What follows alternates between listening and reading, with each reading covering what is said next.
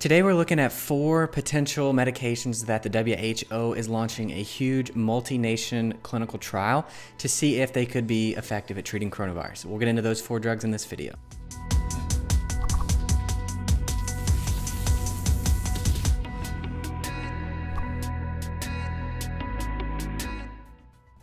If you're new to the channel, my name is Zach. I'm a medical doctor and ophthalmology resident, and today what I want to go into is four medications that the WHO is launching a very large clinical trial, very rapidly at that, to see if they could have any effect on treating the novel SARS-CoV-2 coronavirus. So my intent with this video is not to interject any of my own opinions or thoughts on these medications or on the clinical trial itself, simply just to inform you of its existence and which medications they're actually looking at as potential treatments. So if you guys do find this video at all valuable or interesting, leave a like and uh, subscribe to the channel. So without further ado, let's actually get into the study here. So first off, the name of the study is the Solidarity Trial, all in caps, S-O-L-I-D-A-R-I-T-Y, and it is a multi-nation clinical trial Right now, there are 10 countries that are enrolled in the clinical trial. And the purpose of this trial is to address four different treatment arms. It's actually more than four medications to see if they could have any effect on treating the coronavirus. So on Friday, March 20th, the WHO announced this clinical trial.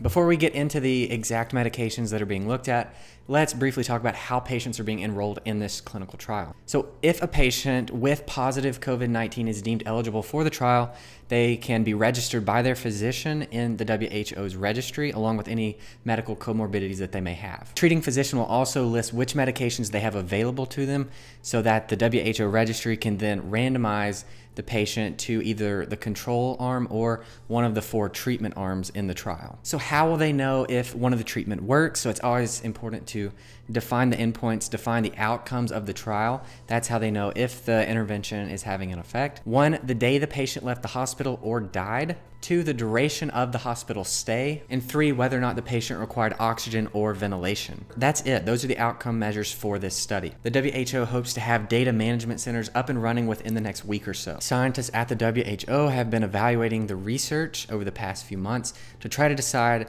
which potential medications could show the most promise. And we're going to get into those right now. So the first drug is remdesivir. This is a medication that I alluded to in a previous video. This drug is an antiviral drug. The other name for it is GS5734, and it's produced by the company Gilead. Now, this medication was tried against the Ebola virus and showed limited efficacy, but there was some promise in treating the original SARS virus as well as the MERS virus. There's a paper from the Journal of Science and Translational Medicine published in 2017 that I will link down below so you can check that out for yourself.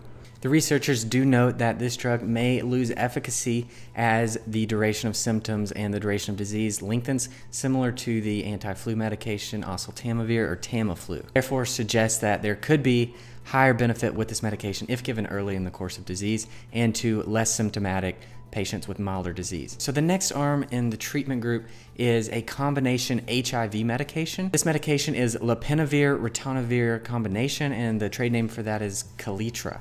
Lopinavir is an inhibitor of the HIV protease enzyme, and ritonavir actually suppresses the activity of CYP3A, which is an enzyme that metabolizes lopinavir. Thereby, ritonavir allows the lopinavir to stay around longer and exert its effect. And that's the reason for the combination. A very recently released paper in the New England Journal of Medicine, published just March 17th of 2020, actually looked at the effect of this drug combination on treating COVID-19 and they had limited success. To quote from the paper, they said treatment with lopinavir ritonavir was not associated with a difference from standard care in the time to clinical improvement, which was their endpoint clinical improvement. So it showed no difference getting the drug compared to standard of care, and this was a relatively small study with only 199 patients enrolled. I'll link that study down below so you can take a look at it. So the next medication is actually a combination of lopinavir and ritonavir, similar to the previous treatment arm, with the addition of interferon beta. Interferon beta is a cytokine in the interferon family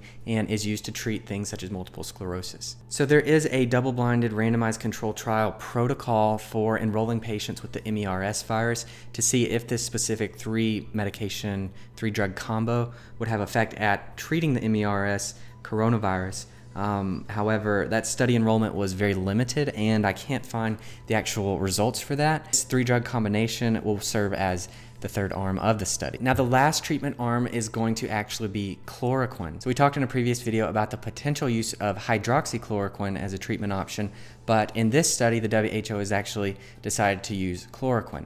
Now, initially, they had planned not to include this in the treatment arm.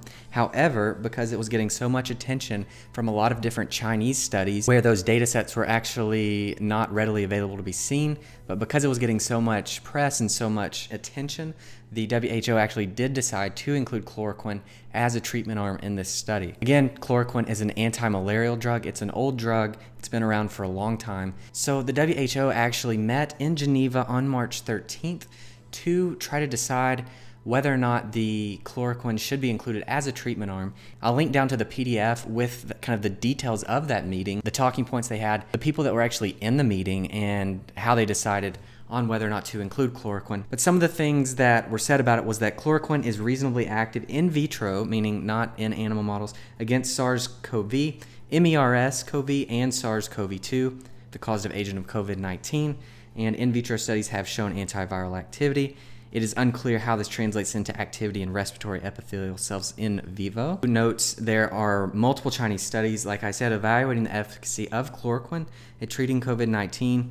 Um, the results have been hard to come by. And then they say in this document, as the decision should be taken rapidly based on available data, it was agreed that there is equipoise for the inclusion of chloroquine in clinical trials and to proceed with the evaluation of chloroquine in COVID 19 patients. And so, for that reason, they did decide to include chloroquine as a treatment arm in the study. Now, the fifth group, the control group, are those patients that will not receive any of these treatment arms but will simply get standard of care, meaning supportive measurements that would otherwise be used to treat the patient, such as respiratory support and that kind of thing. And that'll serve as the control group. Because there are so many countries that are participating in this study, it has the potential to draw a lot of patients really quickly and hopefully get results pretty quickly as well. I'll list the countries on the screen here that are participating in the study if you're curious. The point of this video was just to make you aware of this trial, of its existence, and of some of the treatment medications that the WHO is looking at using for the novel SARS-CoV-2 virus. Let me know what you guys think about these treatment options and the study design. I'll link to some of the papers down below so that you can do a little more research on it. If you found this useful, consider leaving a like and subscribing to the channel. I'm Zach with Dr. Eyeball MD, and I'll see you guys in the next video.